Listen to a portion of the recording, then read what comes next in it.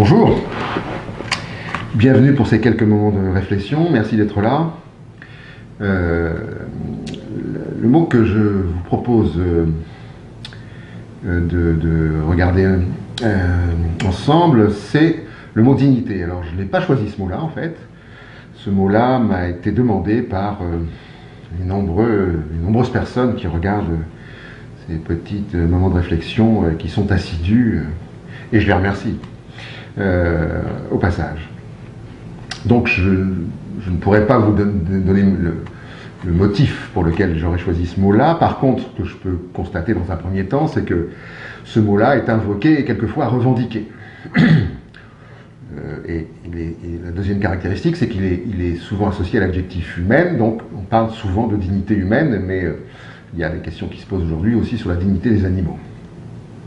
Alors, quand ce mot-là m'a été proposé, euh, la première euh, euh, pensée que j'ai eue, c'est que ça me disait bien quelque chose, mais que je ne voyais pas vraiment de quoi on parlait en fait.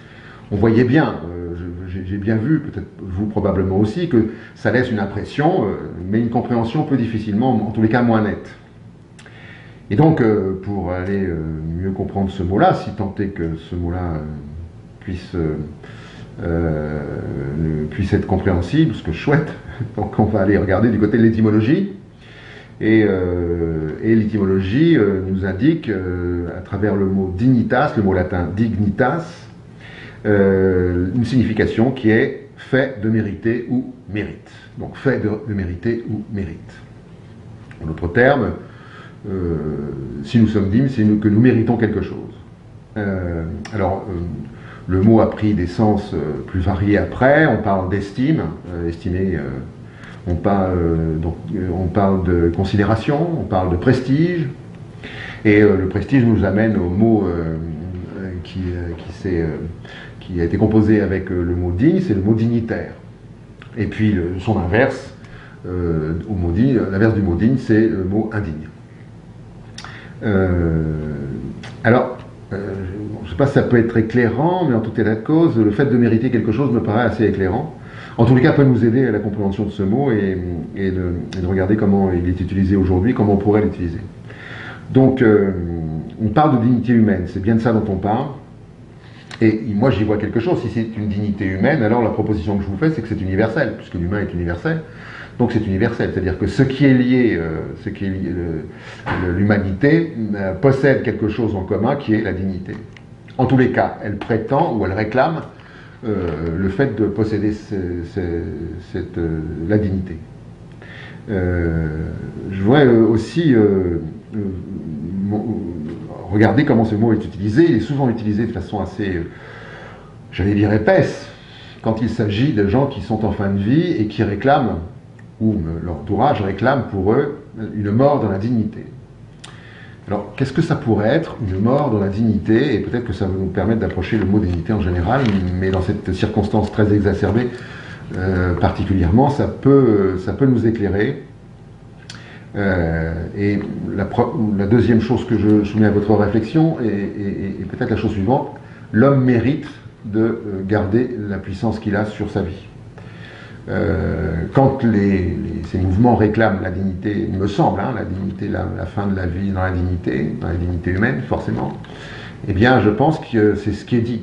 Ce qui est dit, c'est que nous réclamons la possibilité de, conserver la puissance que nous avons sur notre vie.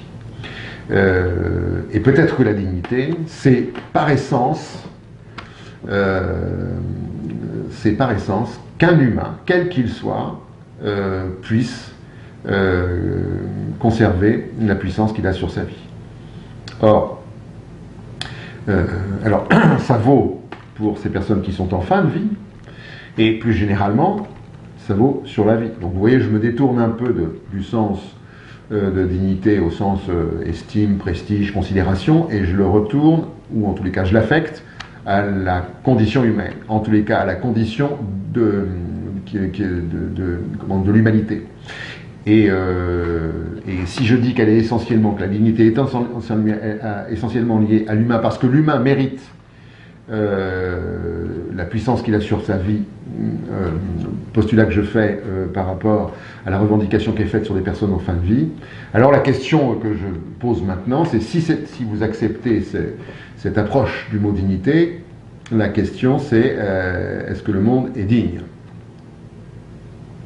Alors les comportements sont indignes. Euh, si euh, la dignité c'est de conserver euh, et, d'exercer notre puissance sur notre propre vie, il, y a une, indignité généralisée, peut-être même érigée en loi, peut-être même érigée en principe le rapport que nous avons à l'État, à l'autorité de l'État, à l'autorité euh, euh, dans l'entreprise, le rapport que nous avons avec l'autre, euh, souvent, quelquefois, sont des rapports de force. Et, dans les rapports de force, il n'y a pas possibilité d'expression de la dignité parce que la force nie la dignité de l'autre. Je vous rappelle, en tant que j'exerce ma puissance sur ma propre vie et que donc le monde euh, aurait des comportements indignes euh, vis-à-vis des hommes. Mais euh, dans le fond, il n'y a pas que les autorités. Le, fait d'exprimer un, racisme quelconque fait partie de cette indignité-là. Le fait de considérer d'autres comme un peu moins humains que soi fait partie de ça.